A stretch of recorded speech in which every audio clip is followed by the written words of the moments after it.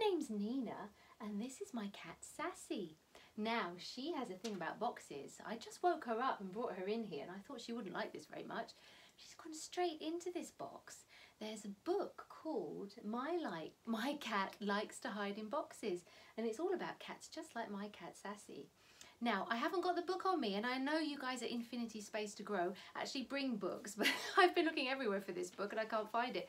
Luckily, I know how to say the story off by heart. So, it's actually a song story and there are moves to it as well so you can actually do it with me if you like so the so the book is called my cat likes to hide in boxes and it's by eve sutton if you want to find it for yourself. Now when we do it we need to make a cat with whiskers like this and then we need to hide our faces like this and then we have to draw a box in the air four sides one two three four just like that with your hands.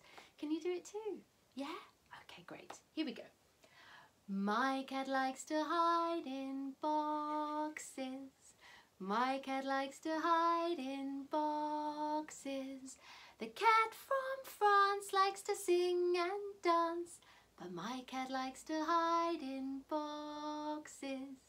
My cat likes to hide in boxes.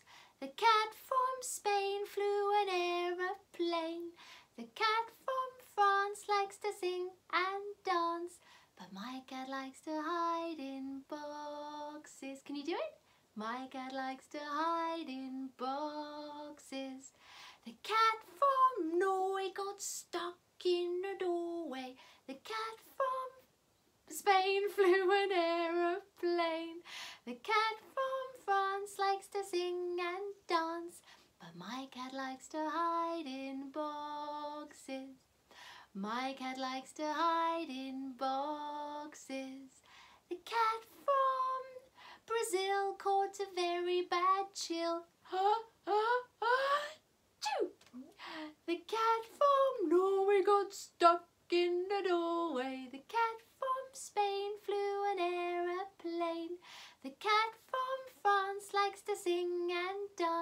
But my cat likes to hide in boxes. My cat likes to hide in boxes. Oh dear, oh dear. All those lovely cats doing all those amazing things. But my cat, well, does like to hide in boxes usually unless she's disturbed halfway through her morning nap and then she gets a bit annoyed about the box to be honest. But do you have a pussy cat? Or maybe you have a fish or a dog? All sorts of pets. I do love cats though, they're my favourite. But um, that's it. That's pretty much the story. There's also a cat from Japan and a cat from Brazil and a cat from Greece. It's a very cool book if you get your hands on it. And don't forget, if you do read it, you can sing it, which is even better. So take care, everybody. Thank you. It's been a pleasure joining in today. My name is Nina. I run music classes called Jingle Bugs um, in Reigate and hopefully we'll be up and running again soon. But for the meantime, it's been a real pleasure joining in with Infinity Space to Grow's um, reading time. So thanks for having me. Take care, everybody. Stay safe, stay well. See you later. Bye.